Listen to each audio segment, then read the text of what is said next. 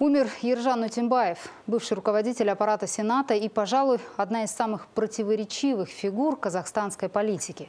Успешный государственный деятель, один из разработчиков стратегии «Казахстан-2030» и авторитетный экономист. В 2006 году был объявлен главным заказчиком убийства оппозиционера Алтынбека Сарсембаева. Это преступление было, пожалуй, одним из самых громких в истории страны. Утимбаев дал признательные показания, но мало кто верил, верил в его виновность. Говорили, что он взял чужую вину на себя. И, возможно, спустя годы расскажет всю правду. Но этого не произошло.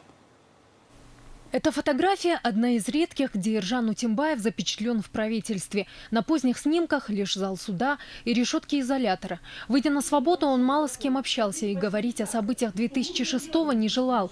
Друзья и не просили. Было понятно, 8 лет, проведенных за решеткой, оставили свой отпечаток на нем как личности и на его состоянии здоровья.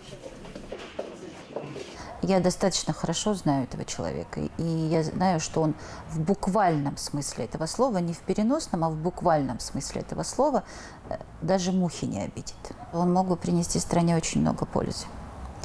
И, конечно, очень жалко, что это так и не оказалось востребованным. Его образ порядочного человека никак не совпадал с тем, в чем он признался позже. В 2006 году, спустя несколько недель после того, как в пригороде Алматы были найдены тела оппозиционера Алтынбека Сарсимбаева, его водителя и охранника, Ержан Утембаев написал письмо президенту и сообщил, что именно он – заказчик этого преступления.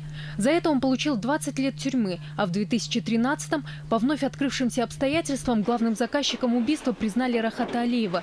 Утембаева же назвали пособником, но срок сократили. Четыре года назад он вышел на свободу условно-досрочно.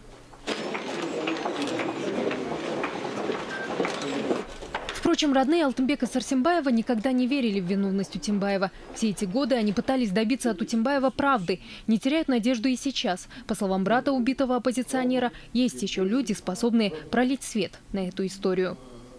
Это бывший его шеф Нуртай Абакаев, который много знает даже больше, чем самого Утимбаева, а прокурор Тусюпеков, бывший министр Мухаммедчанов, нынешний министр Касымов.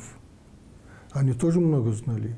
И еще многое кое-что знали по этому делу судьи типа Мирикеновых. Придет день, придет час, когда вот они сами выскажут. Сожалению, в биографии Утимбаева эта история занимает слишком много места, заслоняя собой его достижения. Он один из разработчиков стратегии «Казахстан-2030», организатор первого съезда мировых религий, автор многих программ, по которым страна живет и сейчас. Ержану Утимбаеву было всего 63. Жанна Рахимжанова, Даниил Жусупов, Информбюро, Алматы.